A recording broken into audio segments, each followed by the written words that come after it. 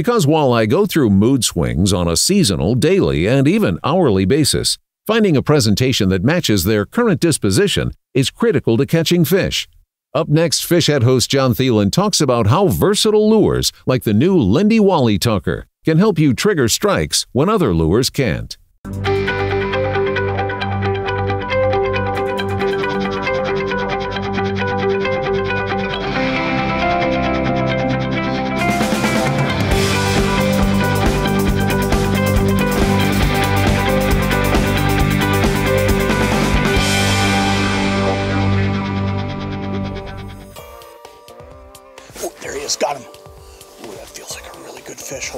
Smokes. That is a good fish. That's a good walleye right there. Man, I'll tell you, walleye fishing, when it comes down to it, is probably my favorite species to fish for. But, but here's the thing, you know, walleyes can be probably the most finicky species there is when it comes to wintertime fishing light conditions can make such a huge difference or a cold front like we're in today. I mean, we're in a nasty cold front. It's cold out this morning. That's why we're we're in the in the hub house this morning. Or seasonal progressions or bait offerings. Oh boy, where are you? Ooh, look at this one. Oh wow. Look at that fish. look at that walleye right there. What a great way to start the day. That's a that's a great fish right there. But I'll tell you what, if you work through a bunch of different things each and every day that you're on the ice, you can get to a point where you can figure out exactly what's going on with these fish because walleyes have more mood swings than any species out there. A fish like that one right there, he's going to bite one day and the next day he might be on the same exact spot. You might drop down the same exact bait and he might not bite it. So what you got to do is you got to work through that whole pile of progressions and get to that thing that triggers them on each and every given day because it could be different every day. But when you get it figured out, you can really kind of dial in what their mood swings are and you can catch fish pretty consistently. We'll let that one go. I think we're going to get plenty of them today, but what a great way to start right there. Get out of here, buddy.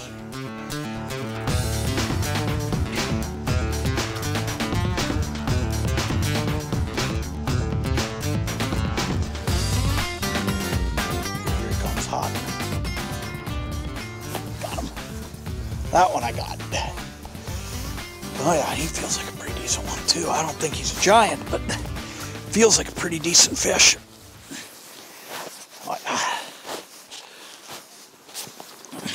a good eater. If we are going to keep fish to eat today, that would be about the perfect size fish. That's probably a 15, 16 inch sauger. And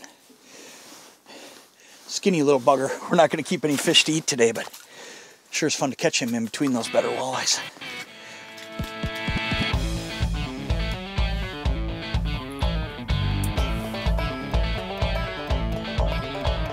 Oh jeez, did he come up hot? This one should be a little bit better fish, I think. Just the way he came up. He looked and looked and looked, looked for a while, and then, and then finally came up here. I don't know, you know, they're they're all good. I hate to try to pick a, a size of a certain one. Look at that.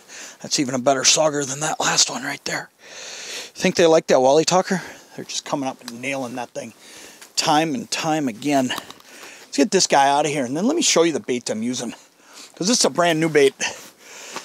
And I've seen a lot of baits come and go over the years, and one of the things I'll tell you is there are certain things that walleyes like. And when we built the Wally Talker at Lindy, the idea was to really build a bait that was based upon what do walleyes like. So the number one thing we did is we thought about the sound.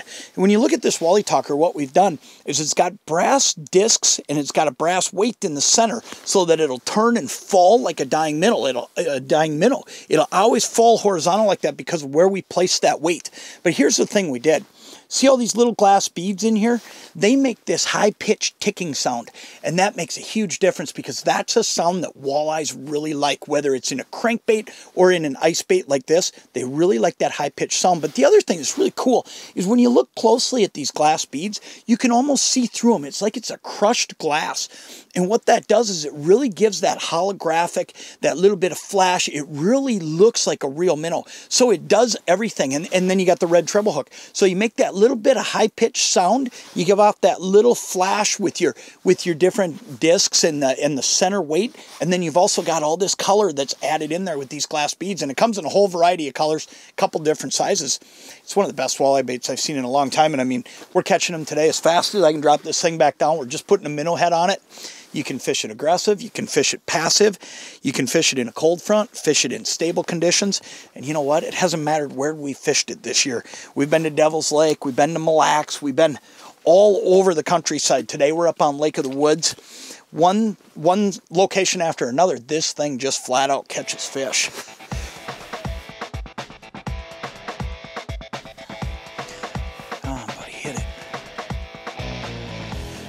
Fish just sitting there looking at it. He's been he's been looking at it for quite a while. I mean, I'm to a point where I am barely moving that bait. I mean, you can see on my rod tip, I am just barely moving it. I mean, it's probably just bouncing just a little bit. I mean, picture picture just like that little yo-yo effect, but really in slow motion. There he is, he bit it. Just come up and nipped at it. I got him. And you know, when, when you hook a fish like this though, he didn't come railing in. So make sure you, you gotta make sure you stay tight on him because I'll tell you what, the way he nipped at it, I would speculate that I don't have him hooked real well. You know, when they just drill it, I usually feel like that's when you've got a deal where you reel up and that bait's all the way down his mouth. This fish here just kind of reached up and pecked at it. You know, he had looked at it quite a while, and usually that's how they'll bite when they look at it as long as this guy did. Oh, I think he's stuck on the bottom. Oh, there he came up. There. Look at that. look at that eye right there. That is another great fish.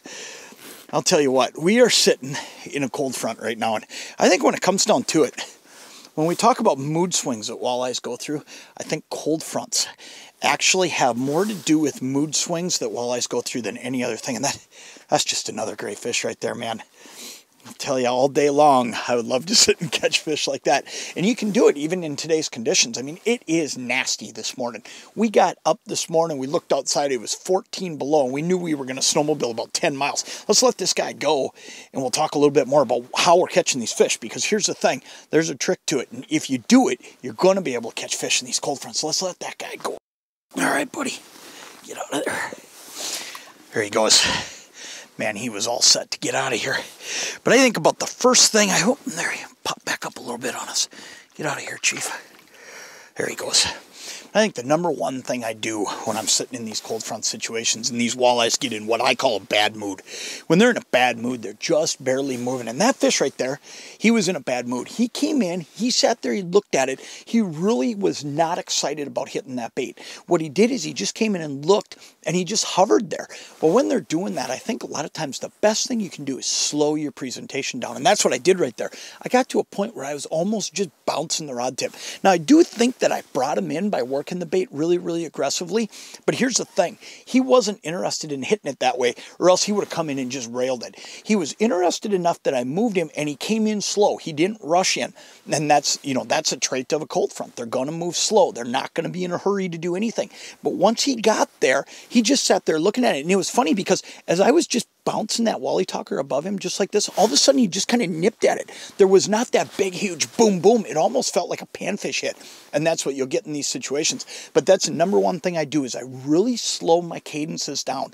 I really subtle everything out and I almost flatline everything. And the idea behind doing that is these fish aren't aggressive. Now later today, they are going to get a little bit more aggressive, a little bit more, a little bit more as this cold front kind of becomes a little bit more history for them and things start stabilizing. But when you're in that cold front situation, situation and they're in that bad mood, just slow things down. Just kind of barely move it, flatline everything once you see fish. And here's what'll happen. A lot of times they'll come up and hit it just like that guy finally did.